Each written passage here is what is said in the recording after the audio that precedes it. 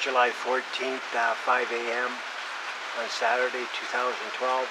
East Kootenai uh, thunder lightning storm going through.